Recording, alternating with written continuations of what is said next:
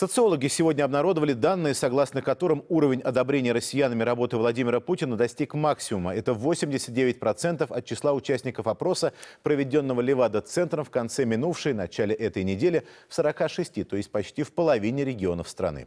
Цифры продолжают динамику этого года. В январе и марте был показатель 85%, в апреле и мае 86%. Столько же, кстати, было в июне прошлого года. В рейтинге политиков, которым россияне доверяют больше всего, Владимир Путин также на первом месте. На втором министр обороны Сергей Шойгу, третью строчку делит Дмитрий Медведев и глава МИДа Сергей Лавров, сообщили в Левада-центре.